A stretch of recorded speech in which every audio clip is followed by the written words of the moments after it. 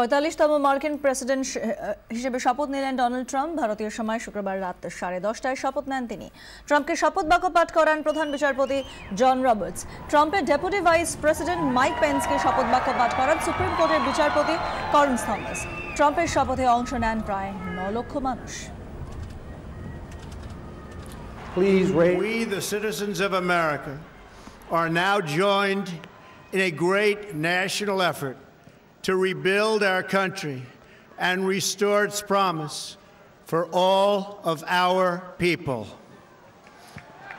Together, we will determine the course of America and the world for many, many years to come. But we are transferring power from Washington, D.C., and giving it back to you, the people.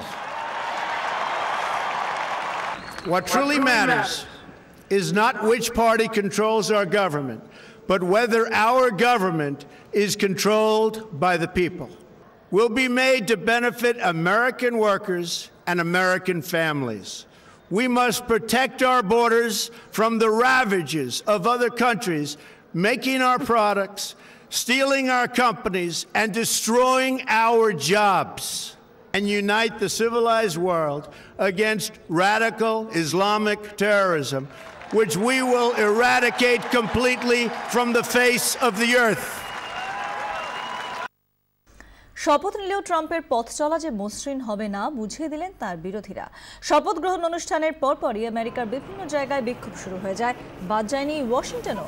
পরিস্থিতি নিয়ন্ত্রণে আনতে সেখানকার রাস্তায় কাদানে gas ছুটতে হয় পুলিশকে। বেশ কয়েকটি গাড়িতে আগুন লাগিয়ে দেয় ট্রাম্প বিরোধীরা।